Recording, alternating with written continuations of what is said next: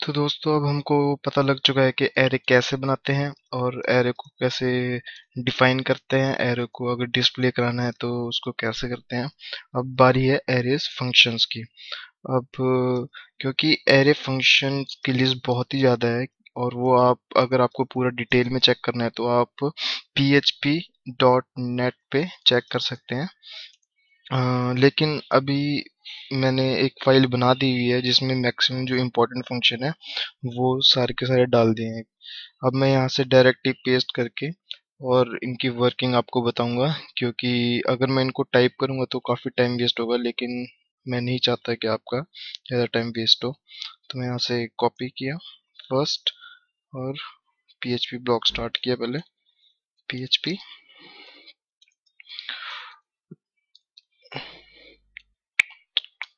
और control we अब यहाँ पे हम देख रहे हैं array push array shift array pop और एरे अनशिफ्ट और ये हमारे पास एक एरे है जो हमने पहले भी क्रिएट किया था।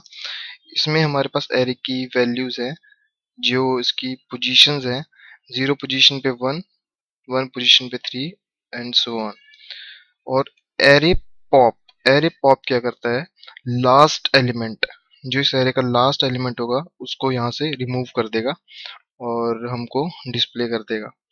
तो एरे पॉप यहाँ से इसको वैल्यू को निकालेगा और उसी तरह एरे पुश नाम से पता लग रहा है पुश करेगा ये एरे को। एरे वन में जो भी हम फ़र्स्ट इसका फ़र्स्ट जो वैल्यू होती है, वो होती है एरे जिसके अंदर हमने पुश करनी है वैल्यू और दूसरी कॉमा लगा के हम फ़र्स्ट वैल्यू हितेश, जो हम यहाँ पे पुश करेंगे लास्ट में, और रेनॉट जो हम उसके बाद पुश करेंगे। और वैसे ही एरे शिफ्ट एरे शिफ्ट क्या करता है? फ़र्स्ट एलिमेंट को रिमूव करेगा, और अनशिफ्ट फ़र्स्ट एलिमेंट में हमारी जो भी वैल्यू होगी वो डालेगा, जैसे कि यहाँ पे फ़र्स्ट वैल्यू यहाँ पे डाल देगा और उसको प्रिंट कर देगा। तो हम देखते हैं इसका। हम रिफ्रेश मारेंगे।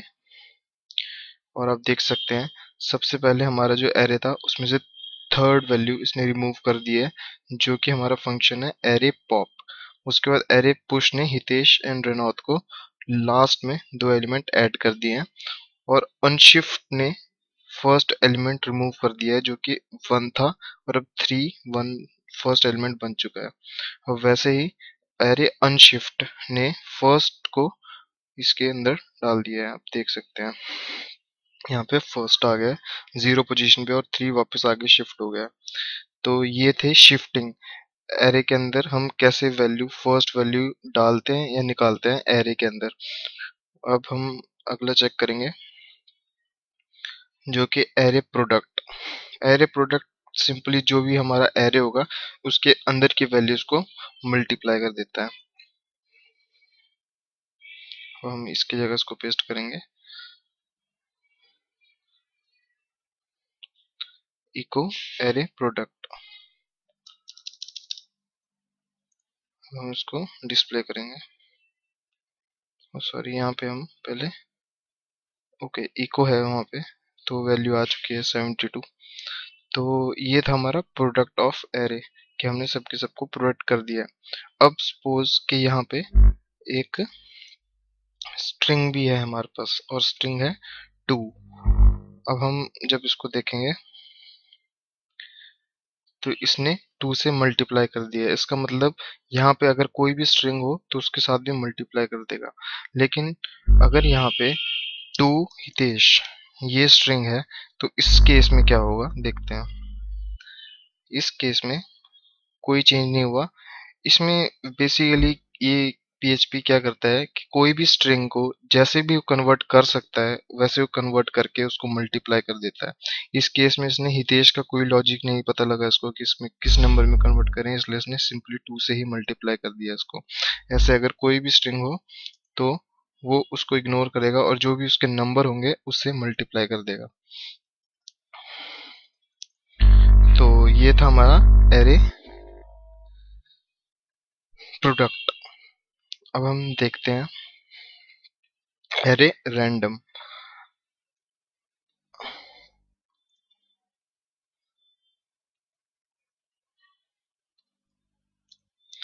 तो एरे रैंडम क्या करता है?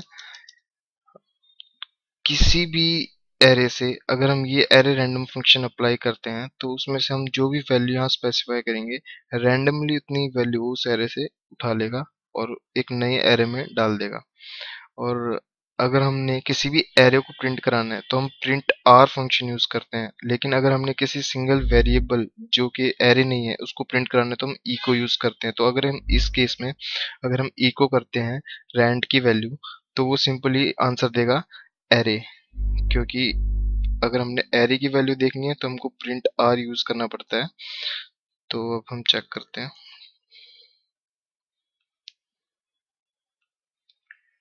तो यहाँ पे आ गया हमारी ज़ीरो और वन अगर हम रिफ्रेश मारते हैं तो देख सकते हैं हम रैंडम वैल्यू उठा रहे हैं। तो अब हम अगला फ़ंक्शन देखते हैं।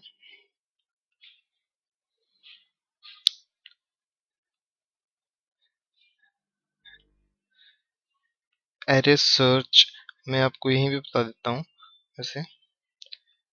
एरे सर्च एरे सर्च क्या करता है? हम जो भी वैल्यू देते हैं, उसकी की रिटर्न कर देता है। जैसे मान लो अगर हम इसको देखें।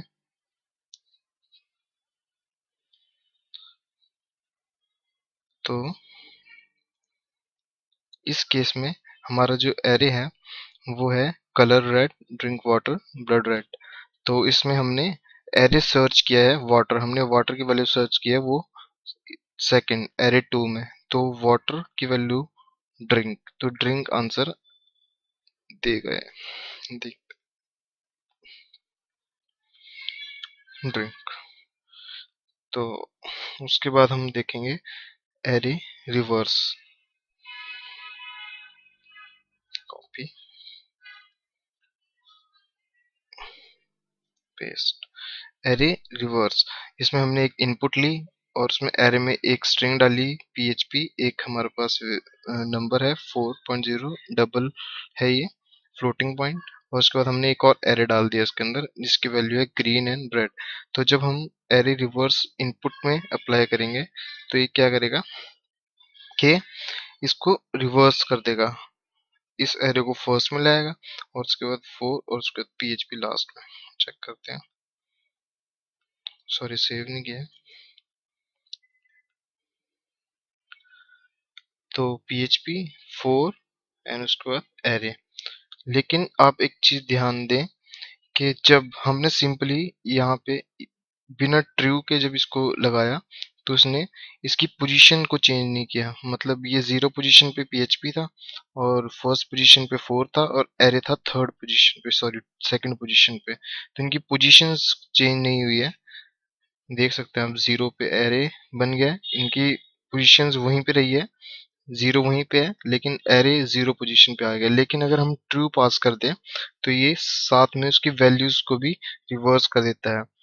ये केस इम्पोर्टेंट तब है अगर हमारी जैसे फ़र्स्ट वैल्यू अगर मान लो यहाँ पे हमारा फ़र्स्ट नेम है और लास्ट नेम है, या फिर हमारा कुछ इम्पोर्टेंट नंबर या फिर कोई रोल नंबर और उसके आगे उसका नाम है।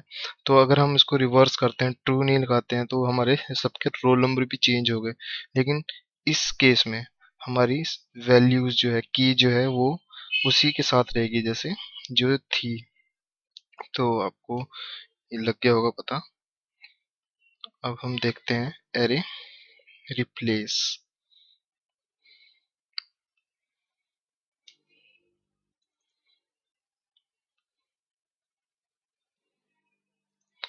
एरे रिप्लेस अब हमने एक एरे लिया है एरे और सेकंड लिया है दूसरा एरे और थर्ड में हमने एक ही वैल्यू ली है टू फोर फाइव सिक्स हमने कॉमन ही दिया है, इसलिए एक ही पॉकेट के अंदर ही है, ये 2456 है।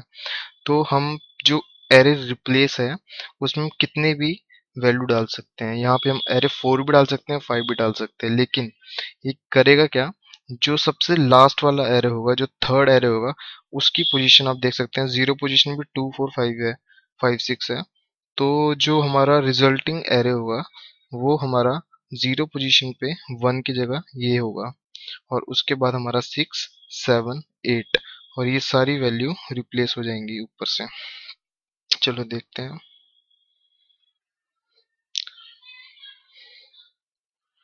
सॉरी सेव नहीं है। तो आप देख सकते हैं ज़ीरो पोजीशन पे ये सिक्स सेवन एट और अगर यहाँ पे एक और वैल्यू होती तो वो भी यहाँ पे आ जाती क्योंकि रिप्लेस हो जाती वो यहाँ पे ज़ीरो से। तो आपको ये भी लग गया होगा पता, ये था एरे रिप्लेस उसके बाद हम देखेंगे शॉर्ट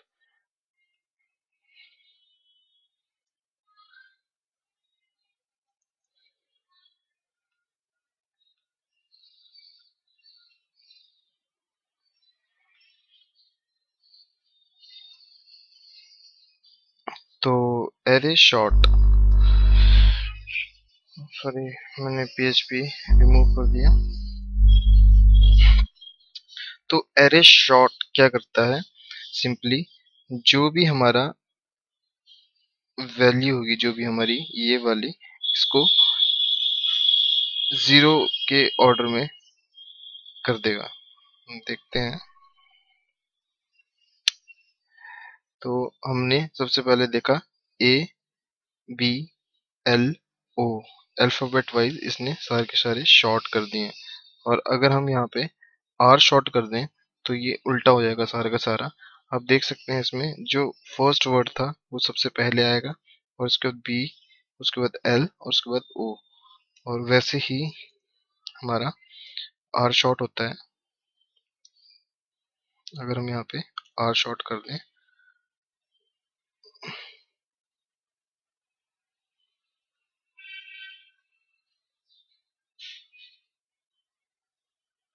तो ये वैल्यूज़ उल्टी हो गई है। ए बी एल ओ लेकिन आप एक चीज़ ध्यान दें यहाँ पे। यहाँ पे ज़ीरो पोजीशन पे ज़ीरो ये पोजीशन चेंज नहीं हुई है। जैसे की इसकी सेम है, देख सकते हैं आप।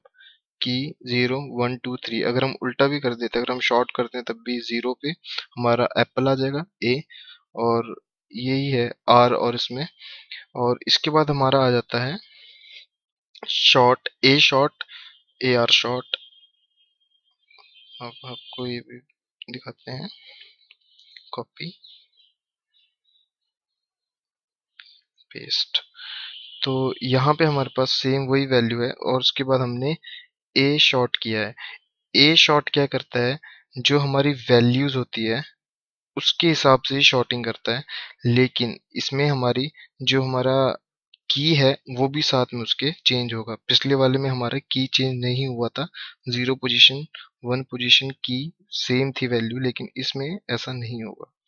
जैसे आप देख सकते हैं। टेंथ लाइन ओके यहाँ पे दो बार पीएचपी आ गई। एक बार हम रिमूव कर देते हैं। तो आप देख सकते हैं apple A B L O तो आया ही आया साथ में इसकी कीज भी इनके साथ ही रही है। तो अगर हम इसको ए आर शॉर्ट कर दें तो वो है ए रिवर्स शॉर्टिंग तो उसमें क्या होता है? हमारी वैल्यूज़ उल्टी हो जाएँगी। वैसे ही जैसे हमने रिवर आर शॉर्ट के केस में देखा था, लेकिन इस केस में कीज भी इसके साथ ही रहेंगी। तो अगला केस हमारा आ जाता है के शॉर्ट जो हमारा सिंपली के शॉर्टिंग होती है। के शॉर्टिंग जैसे नाम पता लग रहा है कीज के हिसाब से शॉर्टिंग होगी। जैसे कि हमारी ज़ीरो वन टू थ्री फिर जो भी हमारी जैसे ए है तो ए पहले आएगा बी बाद में आएगा, उसके बाद सी उसके बाद डी और अगर हम के आर कर दें तो वापस वही रिज़ल्ट उल्टा हो जाएगा। लेकिन इसमें वैल्यूज़ और की साथ में रहती हैं। हम पहले सेव करेंगे। और यहाँ पे आके रिफ्रेश तो आप देख सकते हैं ए बी सी डी और अगर हम यहाँ पे आर कर दें सेव करें, उसके बाद हमारी सारी की सारी वैल्यू उल्टी हो जाएँगी और इसमें कीज भी साथ में उल्टी हो गई, आप देख सकते हैं। तो ये हमारे सिक्स टाइप की शॉर्टिंग थी। तो ये हमारे जो मोस्टली यूज़ हमारे जो फ़ंक्शंस होते हैं एरे के केस में वो हैं और अगर आपको थोड़ी भी प्रॉब्लम, आपको लगता है कि आपको समझ में नहीं आया है एरेज तो प्लीज़ वीडियोस को वापस देखिए। और अगर आपको कोई फ़ंक्शन और इम्पोर्टेंट लगता है तो आप पी डॉट नेट में देख सकते हैं। ये वेबसाइट पी की है, जो पी की जितनी भी डॉक्यूमेंटेशन है, सारी इस वेबसाइट्स में होती है।